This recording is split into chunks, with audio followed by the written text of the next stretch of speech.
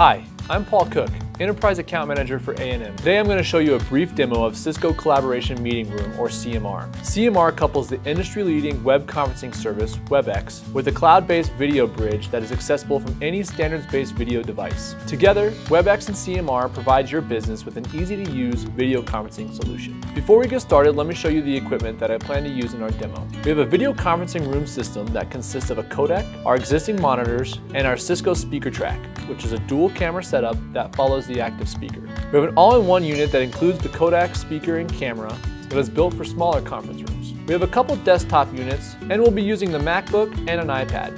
Cisco CMR is very user-friendly and easy to use. There are multiple ways to schedule a meeting. However, one of my favorite ways is to use my personal meeting room. To join my personal meeting room from the conference room unit, it's as simple as clicking my preset speed dial. Users can join from any standards-based video device or by joining WebEx from their Mac, PC, smartphone, or any tablet. Now I am connected to the room and waiting for my colleagues to join. Hi Brooke, thanks for joining. From here, I have the ability to share content from my PC. I'm gonna launch a PowerPoint presentation that I've prepared to share with the team. With the touch of a button, I can easily share content with all of the attendees. Uh, now able to Cooke's PowerPoint presentation.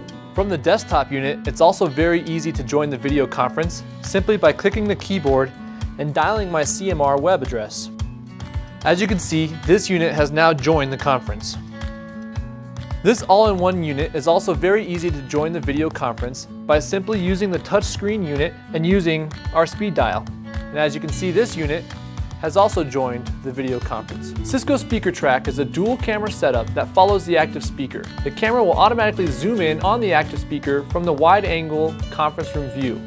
As I hand it off to Brooke to do a whiteboard demo, the camera will follow her. I begin speaking, the camera will transition and then begin to view what I'm doing over here on the whiteboard so users can really actively pay attention to what's going on within the meeting. If you have any questions on Cisco CMR or you would like to schedule a demo, please contact us by visiting our website at www.anm.com.